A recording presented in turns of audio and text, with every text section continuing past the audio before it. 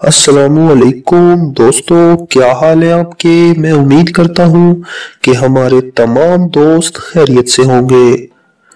तो दोस्तों, सबसे पहले तो हमारी छोटी सी एक गुजारिश है कि वीडियो के नीचे दिए गए रेड कलर के बटन को दबाकर हमारे चैनल को सब्सक्राइब करें और बेल के आइकॉन को भी दबा दिया करें। ताकि हमारी आने वाली हर नई से नई वीडियो का नोटिफिकेशन आसानी से आप तक पहुँच जाए। तो दोस्तों, आज जो रिश्ता मैं आपके लिए लेकर आया हूँ, ये जो खातून है, इनका नाम है साजदा बीबी। साजदा जो है, इनकी उम्र जो है वो छियालीस बरस है फोर्टी सिक्स ईयर्स और ये एक तलाक याफ्ता खातून है। तीन साल पहले इनकी तलाक हुई थी। बच्चे नहीं है, बाज है। इसीलिए जो है, इनके शोहर ने इनको छोड़ दिया और खुद दूसरी शादी कर ली।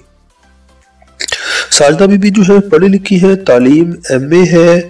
जॉब जो है, ये एक जो है, कुछ अर्सा पहले एक बैंक में जॉब करती थी, लेकिन इस वक्त ये जॉब नहीं करती। जॉब छोड़ दी इन्होंने। तो अभी जो है, साजदा बीबी अपने जो है भाइयों के साथ, यानी कि वालदेन का तो इंतकाल हो गया है, अपने बहन भाइयों के साथ लाहौर सिटी में ये रहती है। तो मुसलमान है, फिरका सुन्नी है, और ये मुगल जो है बरदरी से इनका ताल्लुक है।